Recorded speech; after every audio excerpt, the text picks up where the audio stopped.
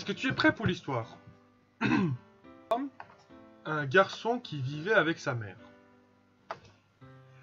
Elle lui a donné toute l'affection qu'une mère pouvait lui donner, mais il y a toujours pensé qu'elle ne pouvait être un peu bizarre.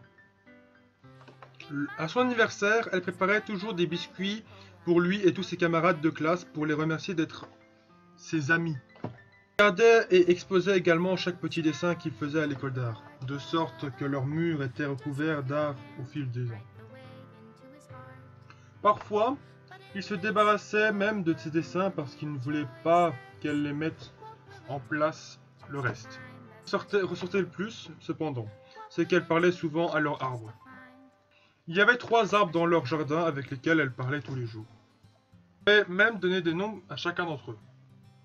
Des fois, elle lui demandait même de s'habiller et de poser près des arbres pour pouvoir les prendre en photo ensemble.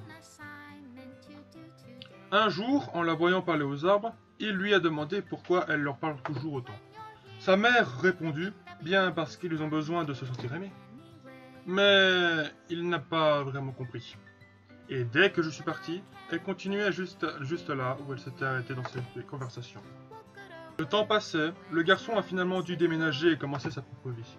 Sa mère lui a dit de ne pas s'inquiéter de la quitter car elle avait ses arbres pour toujours lui tenir compagnie.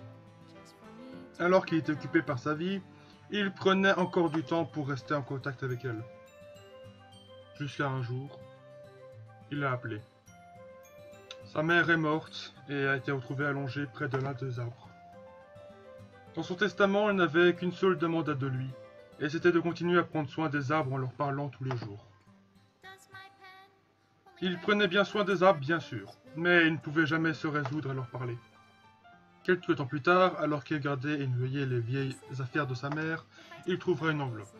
À l'intérieur, il a été choqué de ce qu'il a trouvé. Trois certificats de décès mort-nés pour ses futurs frères et sœurs. Entre eux avaient un nom identique à l'un des arbres qui a été dans la cour toute sa vie. Il n'avait jamais su qu'il avait des frères et sœurs, mais finalement, il comprit pourquoi sa mère parlait tout le temps aux arbres. Il a toujours voulu prendre son souhait très au sérieux de la mère. Euh, et c'est à ce moment-là qu'il commençait à parler aux arbres tous les jours en réalisant le souhait de sa mère. Et il a même allé de l'avant et a planté un autre arbre.